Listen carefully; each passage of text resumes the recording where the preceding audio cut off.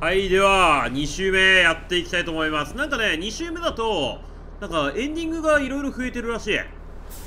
久しぶりまた来たぜ。この街へ。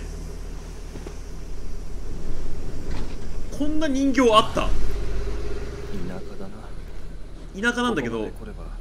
絹さんの家はもうすぐだ。こんな人形あったっけ？絶対なかったわ。で増えてるのがなんかエンディングがね3つか4つぐらいねあるらしいんよね。2周目でしか行けないやつ。結構変わってこっち側俺行ったことないんよな。そういや。なんかこっち側ってなんかあんのかな？絹さんの家はこっ行ちじゃけないんだそもそも。でなんかねここの町にも変化があるみたいな話なんだけどなんかめっちゃ右側にさピンクの張り紙ない？何これ？めっちゃ派手9679電話番号ですねこれは。他にもなんか変わってないかな？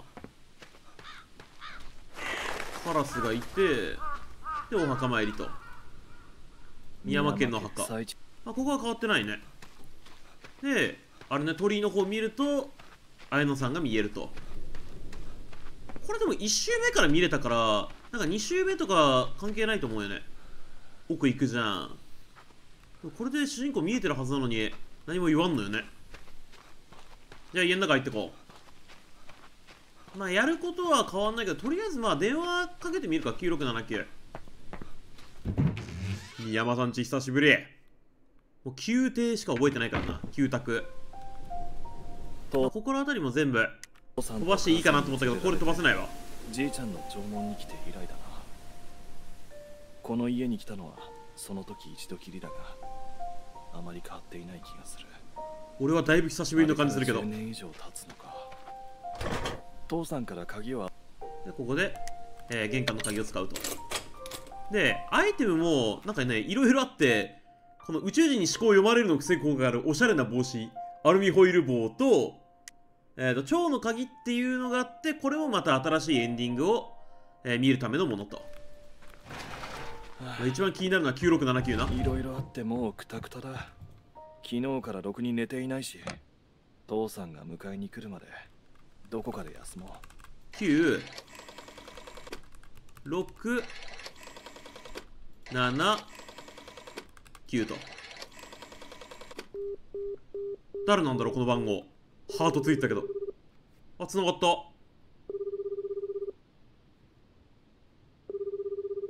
出なくない？あ出た。もしもし。私誰メリーメリーさんなの今ゴミ捨て場にいるの。ああれメリーさんだったんだあの人形。これってさもう一回電話かかってきて徐々に近づいてくるパターンじゃないの？じゃないのかな？どうなんだろう？これゴム捨て場までもしかして見に行かなきゃいけない？見に行ったら何かまた新しい番号があったりとか。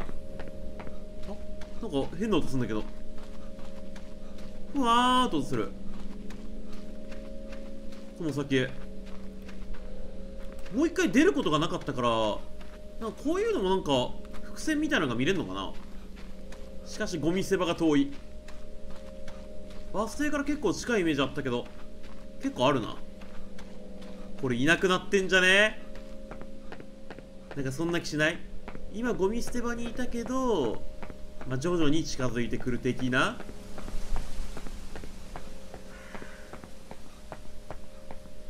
あいやいるわ。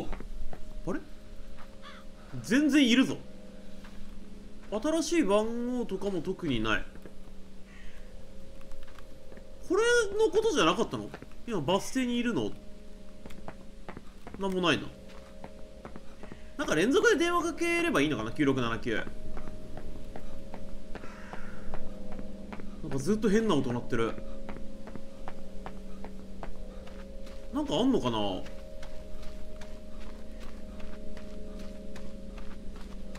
めっちゃ鳥居の方から音を感じるんだけど。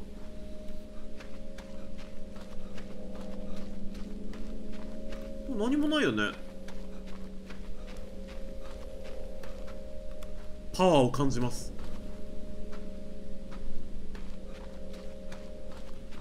まあこの奥だ。もう一回電話かかってくるのかな。いちいち見に行ったらかかってくるのか。どうか。ちょっと確かめてみよう。9679あ電話かかってきた。見に行ったけどいなかったよ。もしもし。私メリーさ今ブランコにいるの。ブランコどこ？ブランコ知らねえんだけどあったか？この町にブランコ。もう一回かけてみようか。ちょっとずつ近づいてくるんならね。いいけどね。9 6 7 9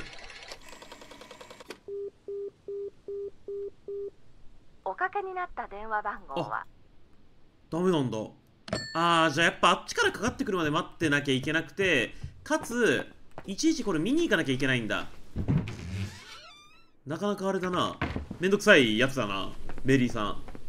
まあちょっとずつ近づいてくるはずだからその現実のね都市伝説のメリーさんと一緒なら。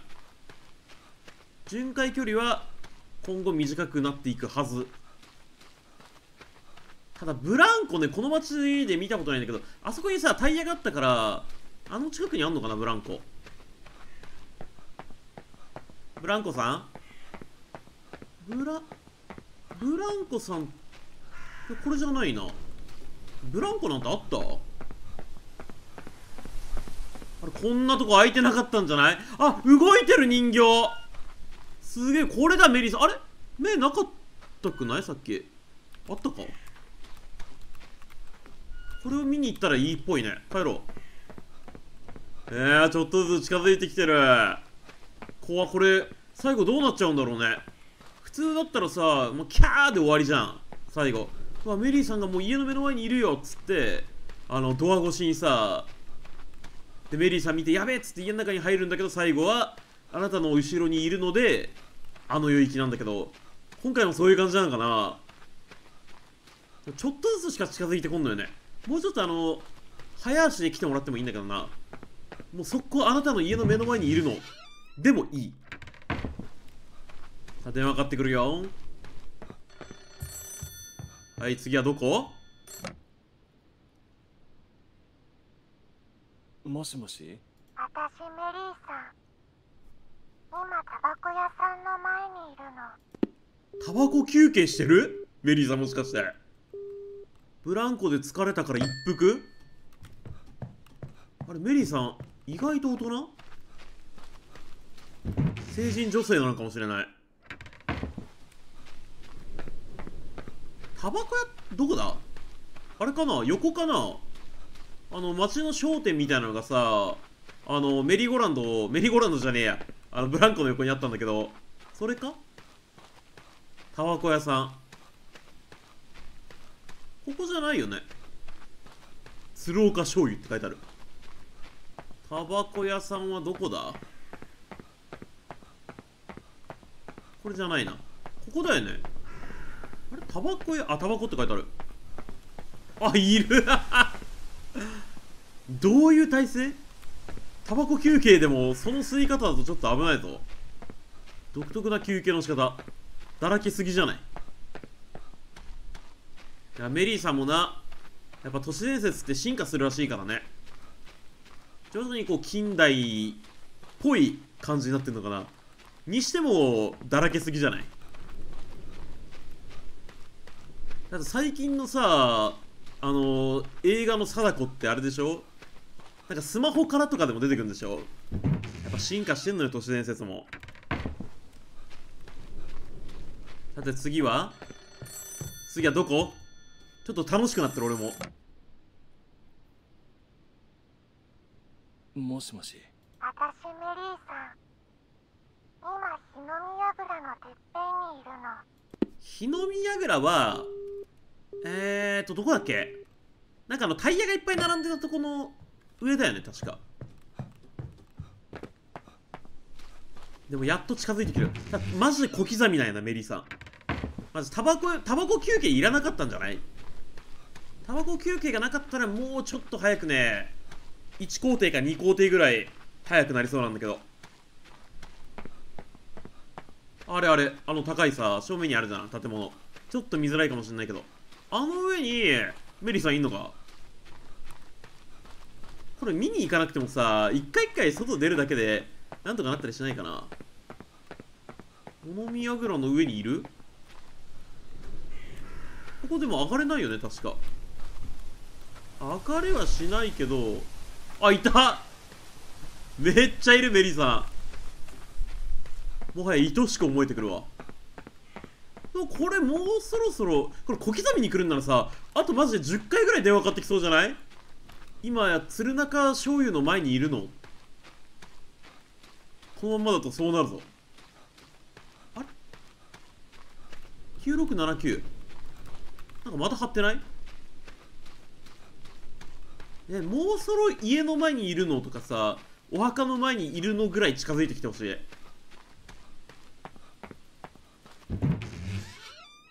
この湊くんは俺はなんで出たり入ったりしてんだろう。そう思ってそう。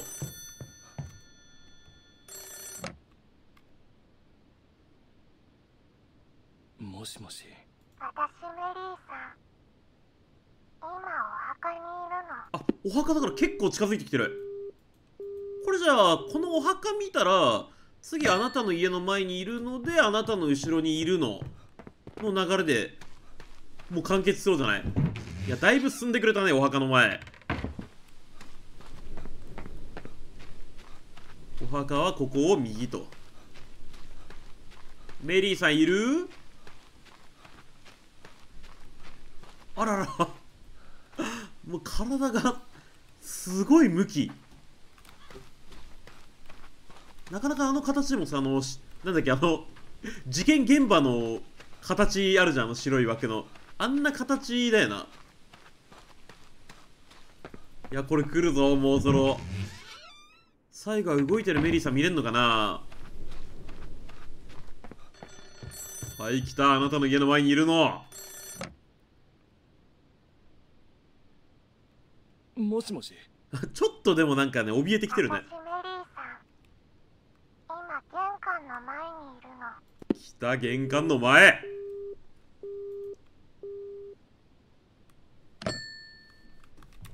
いる？ここじゃないな玄関。誰もいない。やっぱりいたずらだったか。いや？あーかかってきた。もう終わりですこれ。ちょ戸締まりちゃんとしてこう。今あなたの後ろにいるの来るぞもういい加減にしろよ。私メリーさん来るか？今あなたの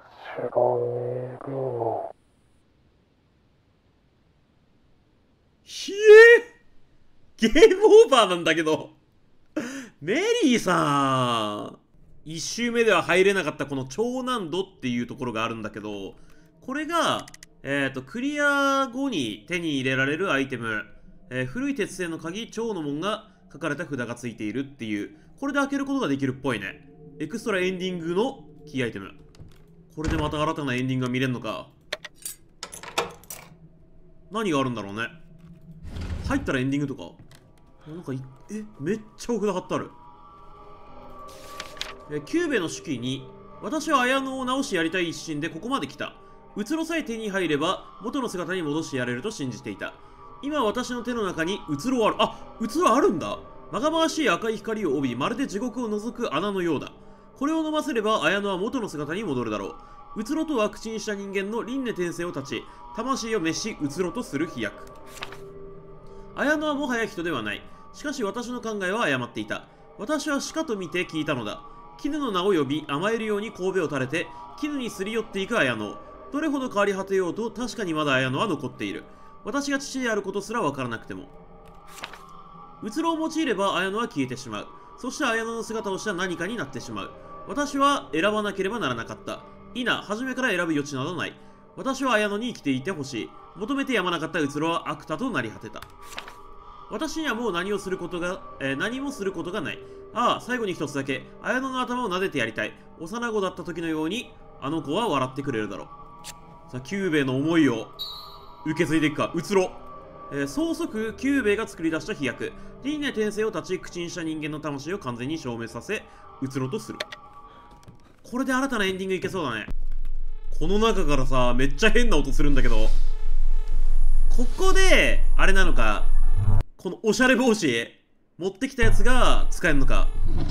エンディングだよねこれ多分。え？これ UFO の光じゃね？初めて来たこんなとこ。え？何か出てくる？このところだよね。あこれっていうかさ草の形がこれミステリーサークルみたいになってない？え？この真ん中立つとやばくない？ていうかもう UFO なんだけどアイコンが。え？これまさか。連れてかれるやつ？はははずっとかぶったんだこれ。オカルト研究会の憧れミステリーサークルなのかいやこんなとこにいて大丈夫？この目で本物のミステリーサークルが見られるなんて。上を見て。UFO?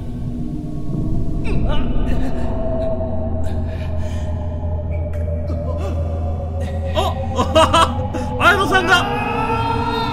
綾野さんもおしゃれ帽子かぶってる。あれ？オカルト好きなの？綾野さんもえこれ連れ去られエンドってこと？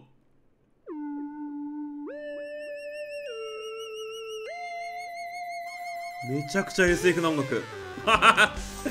なんなんだよこの終わり方。UFO エンドってまるでサイレントヒルじゃねえかよ。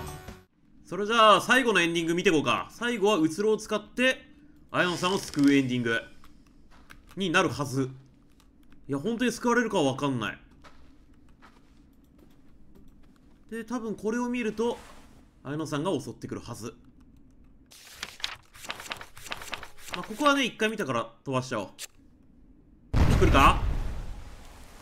来てしまったね。仕込められた。こ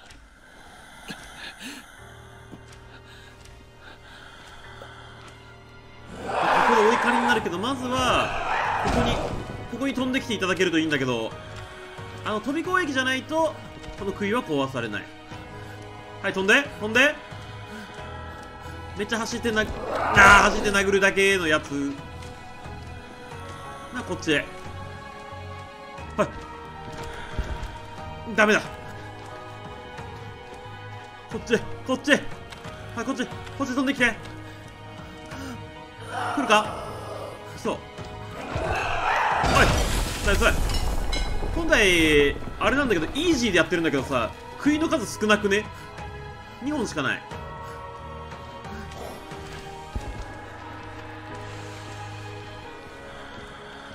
こここっちこっちこっち。あーダメだ。無理か？あ来るかな？はいジャンプジャンプ攻撃ジャンプ攻撃。めっちゃさ俺体力めちゃくちゃあるんだよねイージーモードだと。はい。あこっちこっちこっちこっちジャンプジャンプ。綾野さんの強いとこ見てみたい。オッケーナイス。でこれで壊れて。天井の岩が今にも落ちそうだ。でここでこれを使うと。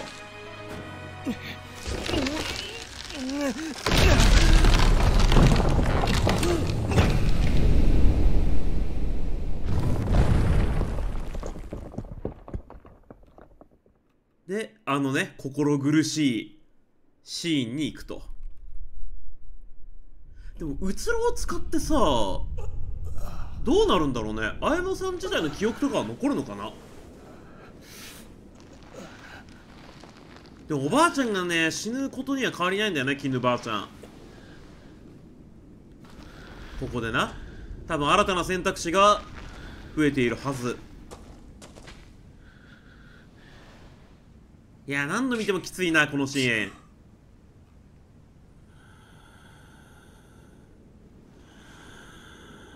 でもお父さん綾乃ちゃんのお父さんがね頑張って手に入れたうつろ。使ってみよう。えめっちゃ振り上げてるけど。あるねうつろを飲ませる。岩を置いてああ手痛いよそれ。ここにうつろがあるんですよ。綾野さんこれ何？みたいな顔してるよな。飲ませられたのかなうまいこと。旧宅じゃないこれ。誰目線なんだろう。湊かなあ眉ができて。ああ輪廻訂正で生まれ変わったんだ。眉から出てきてくれたんですね。綾野さん。長かった。この日が来ることをどれだけ待ちわびたか。めちゃくちゃ美人元はこうだったんだね母さんにそっくりだ。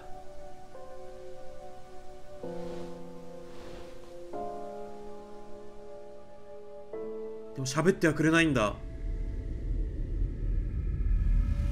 あれ？あ血を欲する衝動だけは変わってないんだ。うわ救われねえこれ。マジかよ。トゥルーエンドなんてなかったんだねやっぱ。